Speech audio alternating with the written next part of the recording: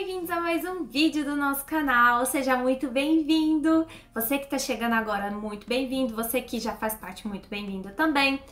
E, gente, hoje eu vim trazer para vocês um tema que, bom, é baseado em algumas perguntas que eu sempre recebo de outras pessoas, seja por inbox ou de conhecidos meus.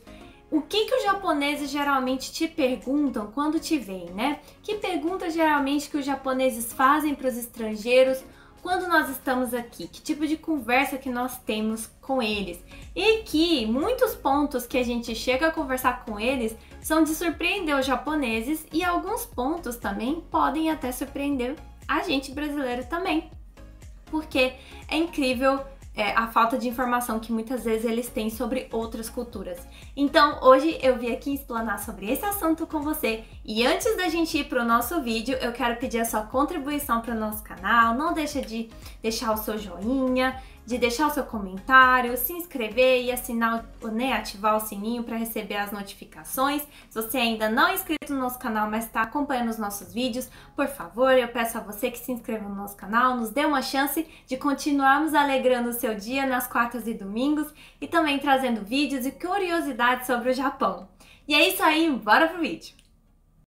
Existem perguntas que eu recebo que dá muita vontade de já andar com uma folha com essas perguntas já respondidas só para mim não ter que responder elas, porque eu já tô careca, já quase careca de tanto responder.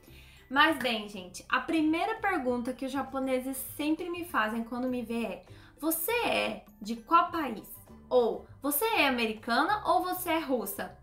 Então, gente, eu sei que talvez eu já deva ter trazido esse tópico aqui para algum vídeo do canal, talvez alguns até recentes aí para trás, mas sim, os japoneses me veem e eles acham que eu não sou brasileira. Como eu já explanei esse assunto num vídeo anterior, eu só vou trazer aqui uma palhinha geral é, para contar para vocês que os japoneses têm imagem do Brasil que as pessoas são negras ou são pessoas morenas, né? Um cabelo bem enroladinho, que gosta de sambar, que tem peitão, que tem bundão.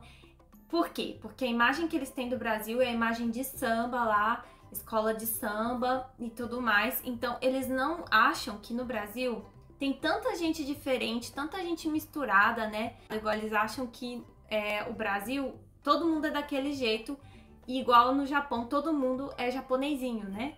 Então, isso eu já até falei no vídeo anterior aí pra trás, como eu disse pra vocês. Então, essa é uma das perguntas que eu mais recebo quando eu encontro um japonês. Segunda pergunta: você é casada com um japonês, certo? E que idiomas você fala em casa com seu marido? Então, e aqui para vocês também, para muita gente que não sabe, né, que eu sou casada com um japonês, também já vou matar essa curiosidade logo de cara de vocês. Aqui em casa, gente, a gente usa geralmente o idioma japonês para conversar agora. Mas no começo, lá atrás do meu relacionamento, eu usava somente o inglês, porque a minha comunicação com o Rio era somente inglês. E agora o Rio também tá aprendendo português. Então, às vezes, ele fala comigo em português. E às vezes eu falo com ele em português, mas ele não dá conta de me responder em português e responde em japonês, porque ele sabe que eu entendo.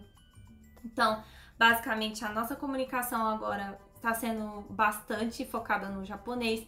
Mas sim, nós misturamos os idiomas é, para que possamos ser bem entendidos e também ajudar o Riozinho aí a melhorar os pontos das habilidades dele em português. Terceira pergunta: O que, que vocês comem no Brasil?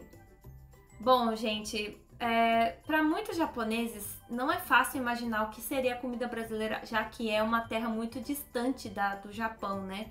Embora ali a Itália tenha imagem do macarrão e do pão que é forte aqui no Japão, ou a América tem um hambúrguer que também é forte aqui no Japão, Brasil é o quê, né?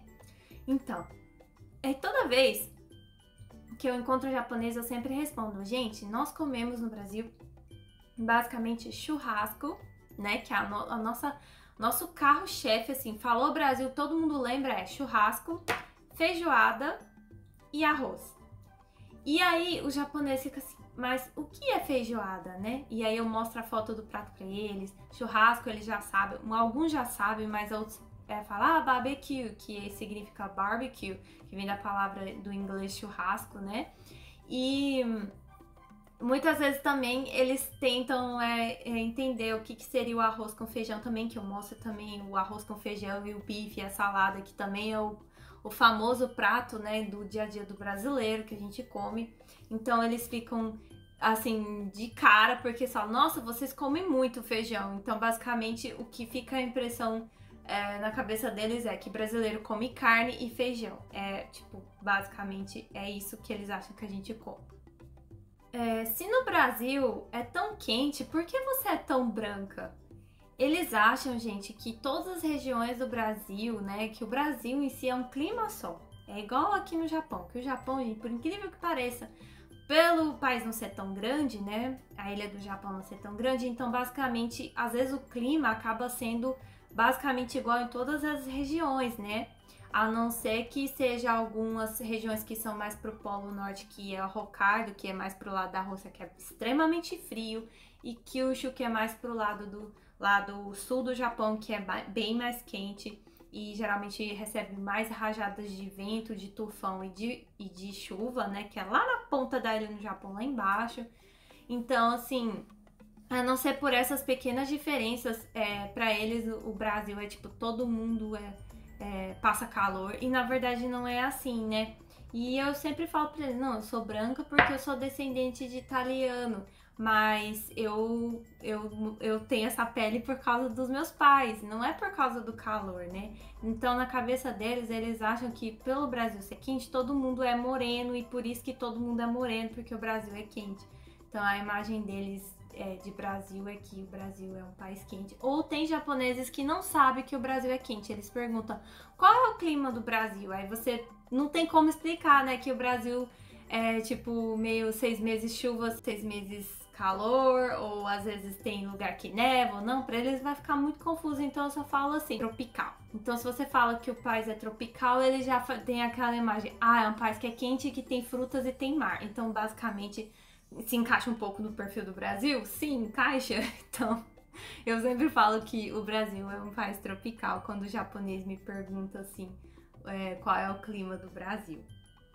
E por último, para finalizar aqui, né, o nosso vídeo para contextualizar, eles sempre perguntam qual o idioma que vocês falam no Brasil. Tem japonês que sabe que no Brasil é falado português, mas muitos deles não sabem, principalmente os mais jovens. Então eles perguntam qual o idioma que você fala, ou eles perguntam você fala inglês? E todo brasileiro sabe falar inglês? E aí eu sempre respondo: não, nem todo brasileiro fala inglês. E o idioma nosso é português. Aí eles ficam assim: português? Mas aí, se você for pensar naquele mapa da América do Sul, você vê tem lá o Paraguai, Argentina, naqueles países que falam a língua espanhola. E aí, para eles, fica meio assim: nossa, mas a gente achava que seria espanhol também, né? Porque tá todo mundo da América do Sul ali falando espanhol, só o Brasil que é diferentão, né?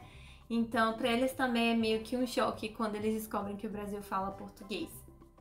E aí eles ficam querendo saber como que é. E aí eu dou uma comparação, por exemplo, falo bom dia para eles em português e eles ficam, oh, oh. Porque eu acho que na cabeça deles eles acham que a português vai ser parecido com, com inglês ou sei lá, qualquer coisa do tipo. E é muito diferente e eles ficam super animados com isso.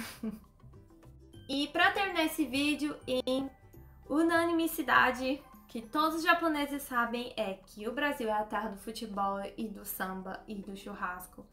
Então, assim, é muito fácil para eles imaginar o Brasil sendo isso. Então, basicamente, se você perguntar o que lembra eles sobre o Brasil, vai ser futebol, ou vai ser churrasco, ou vai ser samba. Porque samba brasileiro, especialmente o samba de raiz, é muito apreciado aqui no Japão, o MPB também. Inclusive, tem departamentos, né? Loja de departamento, tipo shopping, lugares, supermercado, dependendo assim de onde a gente vai, tá tocando samba de raiz ou tá tocando é, o MPB. Eu fico muito lisonjeada de escutar música brasileira e eu sinto, né? um calorzinho humano, um pouquinho assim, mais pertinho da cultura do Brasil, sendo que eu tô tão longe, né?